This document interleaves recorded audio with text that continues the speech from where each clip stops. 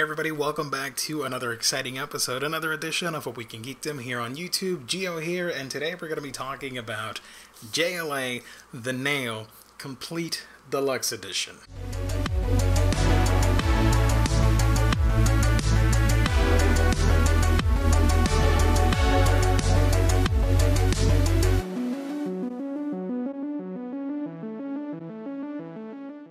Yes, we are talking JLA Deluxe Edition, The Nail. It also collects uh, another nail, so six issues. If you don't know what the nail is, if you don't know what an Elseworld title is, I will explain. Uh, basically, it is DC's former uh, imprint, I, I, should say, of DC stories. basically, what ifs. Like, what if a certain character did something that altered a storyline or, for example, what if uh, Batman had a Green Lantern ring? That's a story. Stuff like that. Uh, Red Sun, Superman, you know, alternate takes on heroes, which I love. That's one of my favorite things about DC and Marvel that we can have stories like that where we can reimagine situations, famous events, and all that stuff. And this is exactly what happens in this book. Justice League, uh, JLA, The Nail, I should say, is written and drawn by Alan Davis and inked by Mark Farmer. And this basically is a story about what would happen if the Kent family did not get to uh, baby Superman that day, that fateful day, all because of a stupid nail that uh, busted their tire on their station wagon, and sort of the chain reaction that soon follows, or the repercussions of a world without the Man of Steel. Because whether you want to admit it or not, Superman, you know, being the first superhero and being such an iconic character is really, you know, not only is he such a beloved figure, but he is that moral compass of the DC universe. And to take that figurehead out of the equation, you're just creating a whole heap of trouble. Because yeah well technically all the other characters they grew up uh, as you know them you know batman still batman wonder woman all that stuff. Their interactions with each other in the justice league is going to be different. There's going to you know everybody's going to be more uh, on edge, grumpier, or at least Batman's a little bit grumpier. There isn't that friendship. Uh, there is sort of that um, partnership, but not like not the, not the super friends kind of level. You know what I mean? It's more uh, of a social gathering of these heroes wanting to do good in the world, but that friendship and that endearing quality that we like about the Justice League is missing. It also includes uh, the follow up story, Another Nail, and it's all in great oversized artwork. It looks fantastic. Without the dust jacket, it still looks great. I'd love the cover, the uh, image for this book right there. You have all the different heroes. And I gotta be completely honest with you guys. I knew what the premise was and I was really interested in getting this book, but the sole reason, or one of the main reasons I got this book, was because when I saw this image for the first time, I was really freaking intrigued by this lovely lady right here, one of my all time favorite uh, DC characters. Um, should I spoil it? Uh, it you can probably figure it out who it is. Just the idea alone that she is a Green Lantern Corps member, I'm like, I definitely want to check that out.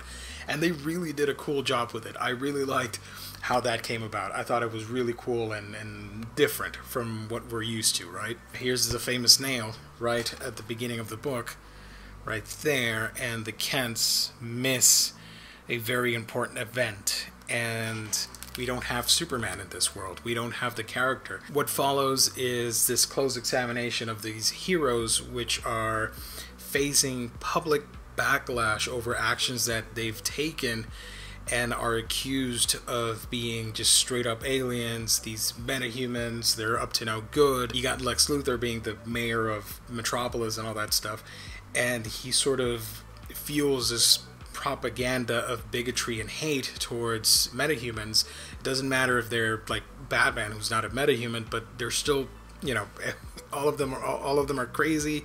They're all unhinged and a threat to society. And you start seeing people believe those lies and um, sort of fuel that hysteria. And the heroes are constantly put through the ringer because of mysterious actions that are forcing them to be seen in a negative spotlight. And that intriguing mystery where you start questioning, like, maybe somebody's doing it, and the clues are being placed um, page by page. It's a really fun aspect of the book, and you'll have a fun time trying to figure out who is making this happen, who the villain is. I didn't see it coming. I had no idea. But once you do, it makes sense. And I thought it was a really cool uh, reveal, a really cool al- alternate take on the character that we call the main villain in this storyline. Now, with uh, when the story ends, I thought it was a pretty satisfying conclusion to the Nail storyline. The follow up, however, um, spins off of a detail from the original story. It's fine, it's awesome, I, I, I liked it, but I didn't love it like uh, I wanted it to. I thought it was a little bit too chaotic for its own good. I thought it was going to be more grounded, like the original storyline. Instead, we get a cosmic mashup where literally page after page you're doing scene transitions where you'll have something in Arkham Asylum and then you read the other page and it's in space and then you flip the page and you're back at uh, I don't know Coast City and then you read the follow-up page and you're in Metropolis and it's like that almost through the whole storyline. Sometimes you get two or three pages on a particular uh, event, which is great. And I, I'm only I'm probably nitpicking because I got used to it uh, right away, but it is one of the negatives for me of the book that um, I wish it would have been a smaller scaled storyline. Now that I think about it, this storyline sort of reminded me of reading a Fantastic Four epic tale. If you know the outcome of this book and the final villain, you probably have some idea what I'm referring to or where my head is at with this storyline. It sort of felt like an FF Marvel story for some reason. I liked it. I thought it was fun, aside from the hectic nature of it, and there's a ton of characters. Actually, another complaint I do have now that I think about it, uh, completely improvised. I didn't uh, rehearse this at all. There's a character at the beginning of the Nail, uh, Green Arrow, and part of the distrust and the craziness that ensues is in part uh, by him and some of the things that happen to this character, this beloved hero, Green Arrow. Later on in the story, we get an update with that character, but I felt like I felt like it wasn't earned. You didn't give me an, ex- uh, an exposition with the character where I went like, okay, I can see the arc coming full circle, and you sort of have this epiphany with the character, and he's going to do what he's going to do. Uh, I, am being vague on purpose, guys. Forgive me on that one. But if you read the story, you know that he shows up at a crucial point, and I don't know. Maybe I'm being uh, too harsh on the story because it's an Elseworlds title. I thought it wasn't completely earned, and that sort of felt a little Deus Ex Machina ish. Maybe. I don't know. The art, which I haven't talked about, is lovely. You know, um, having Alan Davis uh, doing this is just phenomenal, and I love how the characters look. It it's so late '90s. I loved it so much. Also, Batman has the weirdest and goofiest expressions in this book, which you're supposed to feel for the guy because he gets put through the ringer like, like holy crap. okay, he goes through some stuff in this book, but the expressions that he makes in the book, I just, I, I laughed out loud. I thought they were hilarious. they were easily my favorite parts in this book. And it's funny because it comes from something traumatic that happens in the storyline. Look at this. This is probably one of my favorite panels right there. Uh, if you like Elseworld titles, if you like alternate take on superheroes, if you love the Justice League and want to see the implications of not having a moral compass on a team that, uh, you know, it's not just a superhero team, it is the superhero team, the Justice League of America, the world's greatest heroes and not having a character like Superman, how does that affect the psyche of these characters?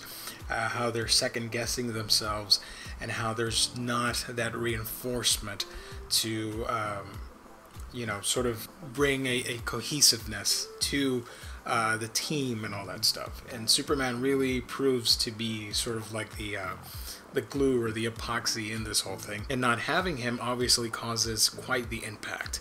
So, fantastic storyline. You can go in blind because it's an Elseworld title, and you'll probably like it. So give it a shot if you can. Justice League, um, uh, or actually, it's the Nail, but I, I, like to say JLA the Nail, deluxe edition, oversized hardcover. Uh, fantastic read with uh, wonderful late 90s artwork and just a really cool reimagining of the whole um, Justice League without Superman stuff. So check it out if you can. If you've already read it, because it's a pretty old story, let me know in the comment section below what you thought of it and what your favorite part of that story was. And if you can, let me know what your favorite DC Elseworld title is. I'm very interested in finding that out. Guys, thank you so much for tuning in. Thank you for liking, commenting, subscribing, and being a part of A Week in Geekdom. It truly means the world to me. Thank you so very much. I've got to go. Uh, also, follow me on your favorite social media platform. I totally forgot to say that. I always say that. Why did I forget it? Anyways, follow me on social media. Hit the bell icon so you know when new videos uh, show up. And yeah, now I've got to go. There we go. I've got to go, guys. I've got more stuff to read and review for you on this channel. Thank you so much again for subscribing and being awesome. I will catch all of you on our next episode.